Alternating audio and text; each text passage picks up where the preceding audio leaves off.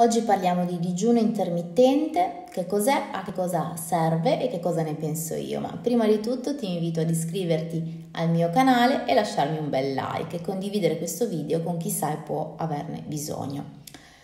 Allora, mm, alla fine sicuramente vi farò delle, delle considerazioni personali sull'argomento.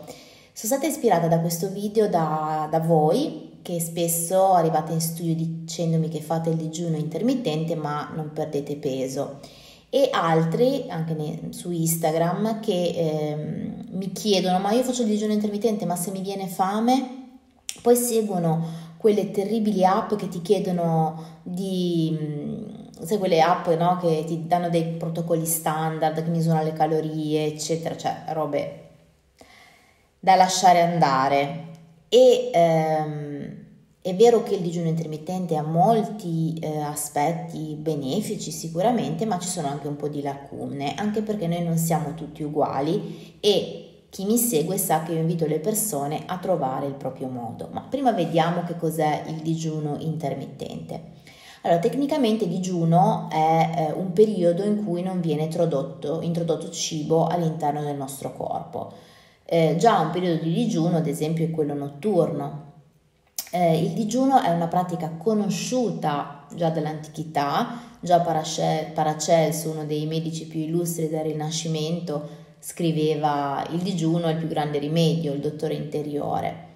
Per digiuno intermittente si intende più che altro una modalità diversa di distribuzione dei pasti all'interno della giornata, a intermittenza per l'appunto e gli schemi di distribuzione dei pasti sono diversi, possono essere diversi. Abbiamo il classico 16-8 dove si sta praticamente 16 ore a digiuno e 8 ore la finestra in cui si mangia. Lo schema 18-6 idem, si sta 18 ore a digiuno e 6 in cui si mangia che è un pochino di più difficile di gestione, poi c'è anche lo schema 20-4, quindi si digiuna per 20 ore e si mangia nelle 4 rimanenti e lo schema anche 5 a 2 in cui sono previsti apporti calorici limitati eh, imitanti il digiuno, quindi circa 500-600 calorie in due giorni della settimana, mentre i 5 restanti si mangiano normalmente. E poi ci sono anche gli schemi Eat Stop Eat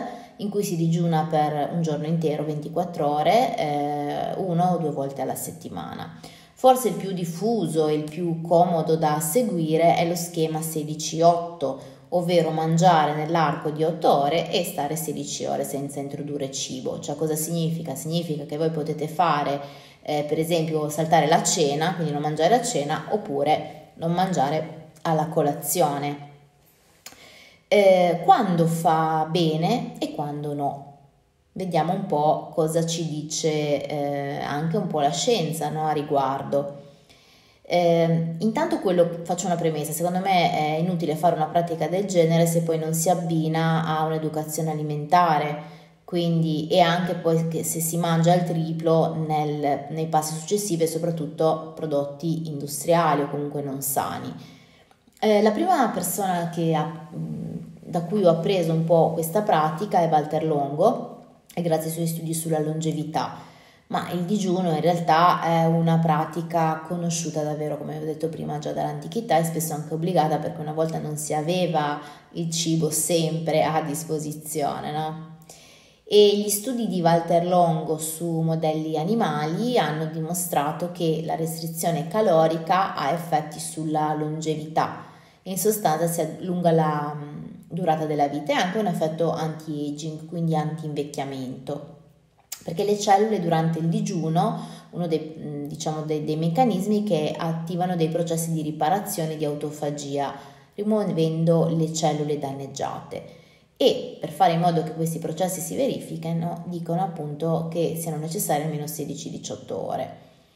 Mm, Alcuni benefici dimostrati possono essere il dimagrimento, ma come vi ho detto non per tutti, eh, riduzione della massa grassa, riduzione dell'infiammazione, miglioramento della pressione sanguigna e eh, dei battiti a riposo, miglioramento della risposta insulinica, anche della, del pannello lipidico, quindi dei grassi, il mantenimento della massa magra e il miglioramento del metabolismo.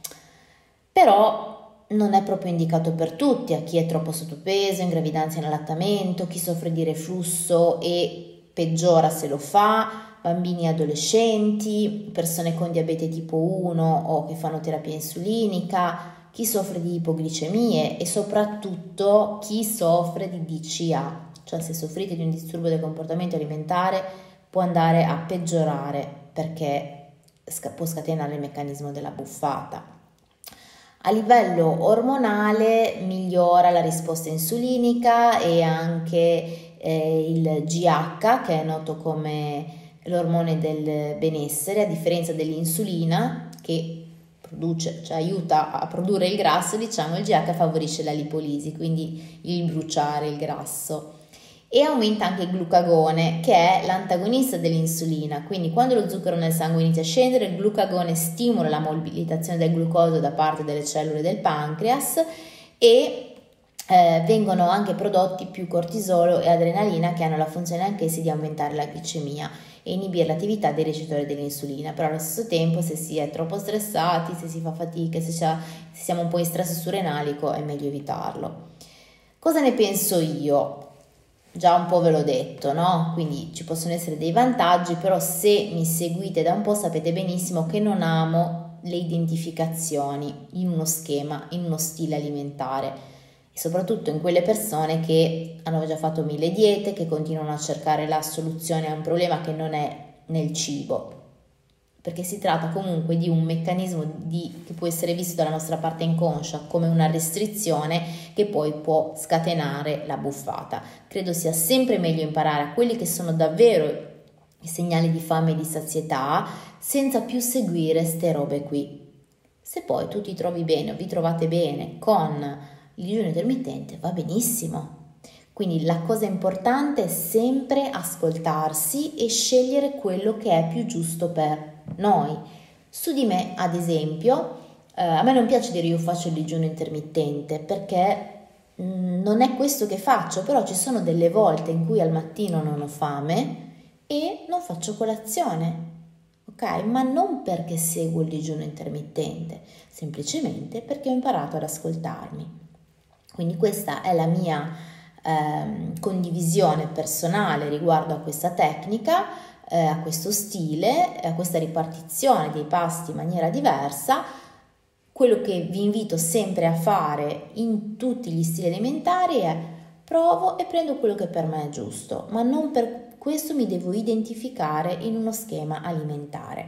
Quindi in questo modo sarai per sempre libero e libera, sarete per sempre liberi e libere dalle diete, da identificazioni, mangerete solo per seguendo quello che è giusto per voi.